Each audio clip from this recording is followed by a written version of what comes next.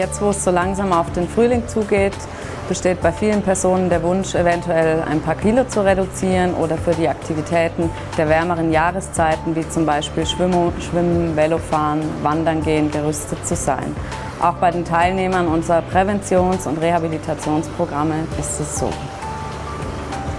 Die Teilnehmer unserer Programme kommen aus unterschiedlichen Gründen zu uns. Das kann eine Herz- oder Gefäßerkrankung sein, das kann eine Diabetes- oder Krebserkrankung sein. Aber auch Patienten mit Übergewicht oder zum Beispiel angeborenem Herzfehler werden von uns betreut. Zentral in unseren Programmen ist die körperliche Aktivität. Um hier den Bedürfnissen, Fähigkeiten und Diagnosen unserer Teilnehmer gerecht zu werden, bieten wir in unseren Gruppentherapien unterschiedliche, vielseitige, abwechslungsreiche Trainingsformen an.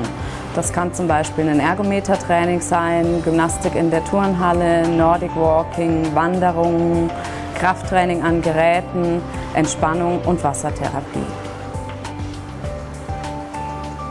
Wassergymnastik bietet eine gute Alternative zur klassischen Aktivität in der Turnhalle.